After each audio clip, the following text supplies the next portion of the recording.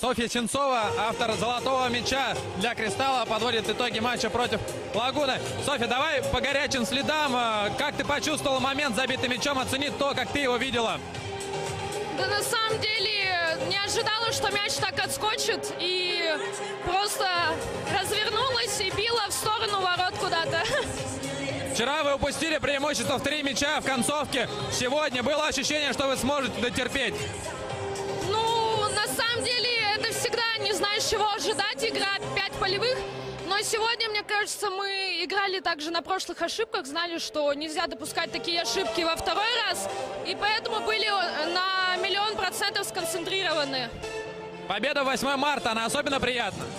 Ну да, наверное. В какой момент матча команда вам э, соперников больше всего трудностей доставила?